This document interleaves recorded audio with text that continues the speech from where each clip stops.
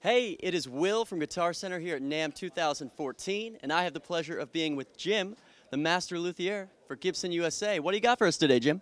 Here we have the 2014 EB Bass. Uh, we debuted it last year, and this year we've upgraded it with some new features, such as the cryogenically treated fret wire for longer wear, the 120th uh, banner inlay at the 12th fret, Graph Tech top nut for better tuning stability, uh, and a, a, variety of new colors, such as this bullion gold.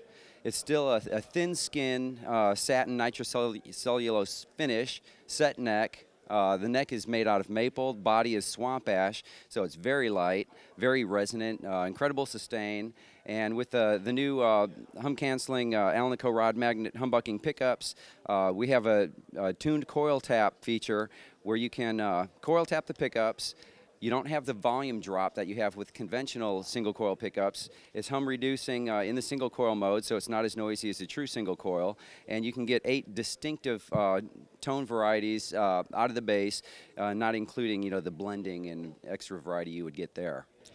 Thank you so much, Jim. And these are available right now. So get to your local Guitar Center and check them out.